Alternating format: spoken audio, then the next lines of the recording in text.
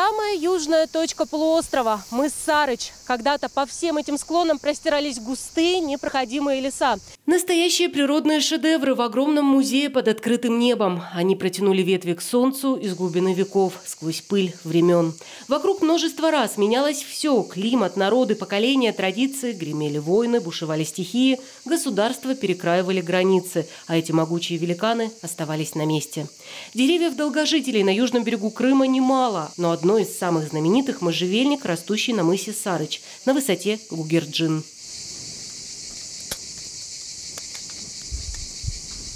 Вот. Получается 4 метра 80 сантиметров. Почти 5 метров в обхвате, минимум две с лишним тысячи лет истории. Трудно поверить, но этот можжевельник-патриарх появился на Земле еще до нашей эры. Правда, по поводу точного возраста споры ведутся давно. В 2011 году зарубежные ученые провели радиоуглеродный анализ ткани дерева, который показал ему около 4000 лет. Хотя внешние признаки, по мнению экологов, все-таки говорят, что растение вдвое моложе. И даже в этом случае оно может отобрать титул главного крымского сторожила у оливы из Никитского ботанического сада. Они по меньшей мере ровесники. Кстати, поблизости немало младших братьев древнего можжевельника. Им от 300 до 500 лет. Они свидетели истории. И эти деревья нужно охранять. Поэтому сейчас вот Дом природы и наша общественная организация охраны природы, защиты прав человека и исторического наследия, мы выступили с инициативой э, описать эти деревья, охранять их и заповедать обязательно. Мы написали письма и Путину, и представителю президента у нас, и Иванову, и в Министерство охраны природы. Мы только-только начинаем этот проект, и возможности вообще широчайшие, и очень хочется, чтобы нас все поддержали, и чтобы люди, самое главное, поддержали, потому что вообще у наших предков отношение к дереву было не такое, как сейчас. Сейчас, согласитесь, люди смотрят на дерево, а видят пень. А наши предки смотрели на пень, а видели дерево. Участники Севастопольского общества природы, прав человека и исторического наследия планируют запустить пилотный проект по созданию каталога зеленых сокровищ Севастополя, Крыма, а потом и всей России. В перечень должны войти самые необычные, ценные, но в первую очередь древние представители флоры нашей Родины. О достояниях расскажут не только фото с текстовым сопровождением. Места произрастания хотят нанести на интерактивную карту. Общественники говорят, это привлечет внимание природоохранных структур, поможет запустить процесс паспортизации старинных растений растений, многие реликты получат, наконец, статус особо охраняемых природных объектов.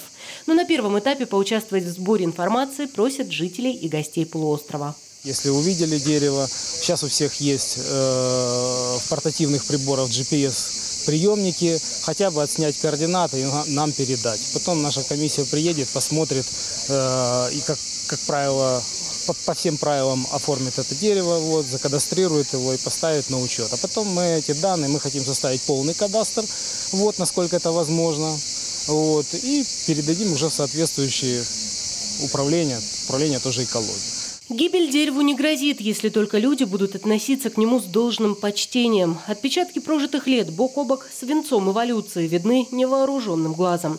Вот ржавый гвоздь в стволе, а эти крупные ветки могли обломать для разведения костра еще в советское время. На этой территории, ранее принадлежавшей лесничеству, размещен палаточный лагерь мыс Сарыч. Но экологи отмечают, старейший можжевельник, несмотря на возраст, чувствует себя хорошо. Ствол, треснувший по центру, можно зафиксировать специальным жестким поясом. А еще нужны металлические ограды, защита от вандалов. Деревянный забор долго не простоял, рассказывает директор палаточного лагеря.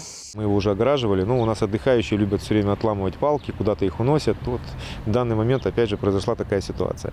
Но мы опять его оградим обязательно. И у нас всегда там висела табличка, э, сколько лет можжевельнику, где он произрастает. Он находится, он у нас получается самый старый можжевельник в Европе. Проход через лагерь без цели разбить палатку бесплатный, в чем мы убедились сами. А вот за проезд на машине берут 100 рублей. И пока ограды нет, рядом со старейшим можжевельником туристы паркуют свой транспорт. Однако Виктор Попорез заверил нас, за состоянием уникального реликта и других деревьев следят и мусор вывозят вовремя. За три года существования лагеря не раз приходилось ловить с поличным браконьеров. Информационную табличку, прибитую к одному из стволов, руководитель обещает снять. Как и убрать с другого дерева обмотку, синтетический тент, которым вроде бы пытались защитить растения от насекомых.